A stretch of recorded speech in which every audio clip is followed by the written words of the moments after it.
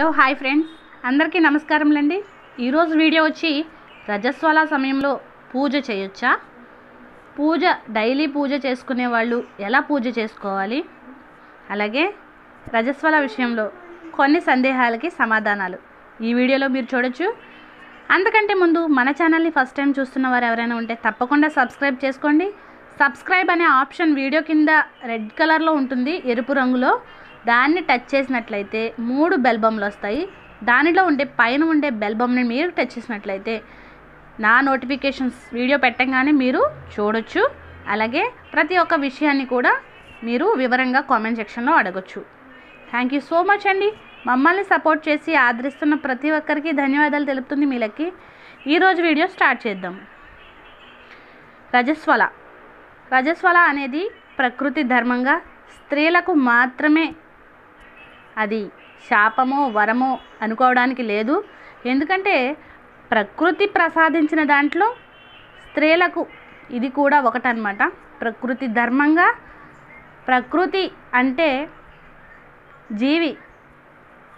జీవి జీవించడానికి ఎలాగైతే గాలి నీరు నిప్పు అనే పంచధర్మాలు ఉపయోగపడతాయో అలాగే ఒక స్త్రీమూర్తి తన జీవితంలో ప్రత్యేకమైన ధర్మాలను నిర్వ నిర్వర్తించడానికి ముఖ్యమైన ఒక ధర్మం పిల్లల్ని కనడం. ఇలాంటి ధర్మాన్ని నిర్వర్తించడానికి తనకి ఋతుక్రమం అనే ధర్మాన్ని భగవంతుడు ప్రసాదించాడు అని చెప్పుకోవచ్చు. అలాంటి ధర్మాన్ని మనం నీచ నీచంగాను హీనంగాను అది ఒక పాపంగాను పరిగణించకూడదు. అలాగే ఈ ఋతుక్రమంలో స్త్రీలు వేరేగా ఎందుకు కూర్చోవాలి? ఏవేవి ముట్టుకోకూడదు అంటారు ఎందుకు?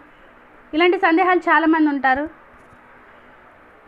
అంటే నాగరికత పెరిగిన ఈ రోజుల్లో కూడా ఇలాంటివి అన్నీ పాటిస్తున్నారా? అంటే ఎందుకు పాటించాలి అని అంటే పాటించాలి పాటించకూడదు. ఎందుకు పాటించాలి? ఈ విషయాలు తెలుసుకుందాము. ఎందుకు పాటించాలి అంటే ఋతుక్రమం సమయంలో స్త్రీల దగ్గర ఒక రకమైన వాసన కలుగుతుంది. ఆ ఋతుస్రావం వల్ల జరిగే విషయంలో ఒక రకమైన వాసన వస్తుంది. ఆ వాసన ఏంటంటే కొన్ని కొన్ని చెట్లకు కానీ అలాగే ఇంటిలో ఉండే కొన్ని పదార్థాలకు కానీ ఆ వాసన వల్ల చెడు జరుగుతుందన్నమాట. అందువల్ల మీరు చాలామంది చూసే ఉంటారు కదా మన ఇంట్లో పెద్దవాళ్ళు మొక్కలు ముట్టుకోకు చచ్చిపోతాయి. అలాగే పచ్చళ్ళు అవి ముట్టుకోకండి. ఇంట్లో ఏ వస్తువులు ముట్టుకోకండి. ఇలాంటివి అన్నీ అనడానికి గల కారణం ఇదే అనమాట ఆ ఋతుస్రావం వల్ల వచ్చే వాసన ఏదైతే ఉంటుందో ఆ వాసన వల్ల వీటికి చెడు జరుగుతుంది. దానికి మన పెద్దవాళ్ళు ముట్టుకోకూడదు అని ఒక పేరు పెట్టి పక్కన కూర్చోబెట్టడం జరుగుతుంది. ఇలా పక్కనే ఎందుకు కూర్చోవాలి అనే విషయాన్ని కూడా ఈరోజు తెలుసుకుందాము. పక్కన ఎందుకు కూర్చోవాలంటే ఆ రోజుల్లో ఋతుస్రావం జరిగే రోజుల్లో ఆడవాళ్ళకి చాలా రకమైన ఇబ్బందులు ఉంటాయి.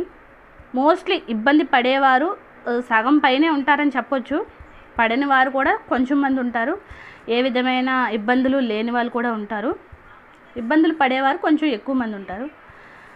అదే కాకుండా ఇదివరకు ఆడ ఆడవాళ్ళకి అసలు రెస్ట్ అనేది ఉండకుండా ఉమ్మడి కుటుంబాలు అవి ఉండే కాబట్టి ఆ మూడు రోజులైనా సరే వాళ్ళకి కొంచెం రెస్ట్ దొరుకుతుందని చెప్పేసి కూడా ఒక కారణంతో ఆ మూడు రోజులు వాళ్ళకి విశ్రాంతి అనేది ఇచ్చేవారనమాట ఈ కారణాల వల్ల మాత్రమే వారు విడిగా కూర్చోవాలి. ఇంకొక పాయింట్కి వచ్చేస్తే పూజ. రోజు పూజ చేసుకునే సాంప్రదాయం కొన్ని కుటుంబాల్లో ఉంటుంది. అలాగే ఈ మధ్యకాలంలో చాలామంది కూడా రోజు దీపం పెట్టే ఒక మంచి పద్ధతిని కూడా పాటిస్తున్నారు. అటువంటి వాళ్ళకి ఎటువంటి ఇబ్బంది కలగకుండా ఉండాలంటే వారి ఇంట్లో పూజ అనేది పూజ గది అనేది వేరేగా ఉండి వారి భర్త స్నానం చేసి దీపారాధన అయితే చేసుకోవచ్చు. అది కూడా మన గాలి తగలకుండా ఉండే స్థలంలో అయితే మీకు ఇష్టమైతే చేసుకోవచ్చు. దానికి కూడా ఇబ్బంది లేదు. మీరు కనుక దీపం పెట్టుకోలేని ఒక ఇబ్బందికరమైన పరిస్థితుల్లో మాత్రమే ఆయన్ని ఆ పని చేయవలసిందిగా అడగొచ్చు.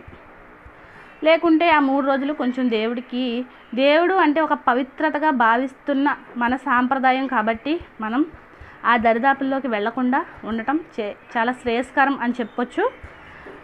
లేదు మేము ఈ పాశ్చాత్య అనొచ్చు నాగరికత పెరుగుతున్న ఈ రోజుల్లో ఇలాంటివి పాటించము అనుకునే వాళ్ళకు కూడా ఏదో ఒక మూల ఒక దైవభక్తి అనేది చాలా ఉంటుంది. మనం చాలా ఇష్టంగా పవిత్రంగా భావించే వాటిని కొన్ని సందర్భాల్లో మనం దాన్ని చూడటానికి కానీ ముట్టుకోవడానికి కానీ ఇష్టపడం. అలాంటిది మనకి దైవం కూడా అన్నమాట. అందువల్ల మాత్రం మనం దైవ ప్రార్థన అనేది మనసులో చేసుకోవచ్చు కానీ దీపం పెట్టడం వంటి పనులు చేయకుండా ఉండటం చాలా మంచిది అని నాకు తెలిసిన ప్రకారం మా పెద్దలు మాకు నేర్పించిన విధి విధానాలను బట్టి మీకు తెలియజేస్తున్నాను. ఇవండి నన్ను కొంచెం మంది సబ్స్క్రైబర్స్ అడిగిన ప్రశ్నలకు సమాధానాలు ఈరోజు వీడియోలో మీ అందరికీ షేర్ చేస్తున్నాను. ఇంకా చాలామంది అక్క చెల్లెళ్ళు చాలామంది క్వశ్చన్స్ అడిగారు. వాటన్నిటికీ కూడా ఒక్కొక్క వీడియోలో మీకు నేను సమాధానాలు అయితే ఇస్తాను. ఈ వీడియో మీకు నచ్చినట్లయితే తప్పకుండా వీడియోని లైక్ చేయండి. అవసరమైన ప్రతి ఒక్కరికి షేర్ చేయండి. మన ఛానల్ని సబ్స్క్రైబ్ చేసుకోండి. డైలీ ఫాలో అవడానికి ట్రై చేయండి.